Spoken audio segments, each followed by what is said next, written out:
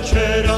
no perciò voglio tempo che purché m'allegressa, ecco la primavera che il cor farà allegrare, deve da innamorare e star con lieta cera, e dove già voglio tempo che purché m'allegressa,